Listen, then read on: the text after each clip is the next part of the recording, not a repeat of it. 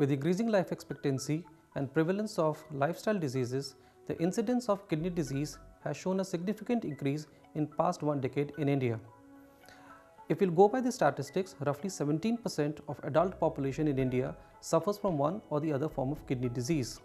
Among the lifestyle diseases, diabetes and hypertension are the most common and these together constitute about 40 to 60% of our cases with kidney disease in India. And with the increasing prevalence of these lifestyle diseases like diabetes and hypertension, obviously the prevalence of kidney disease is going to increase further. But the good news is that if we can control the risk factors like control of blood pressure, control of blood sugar and managing of kidney stones, we can ensure a healthy kidney in our lifestyle.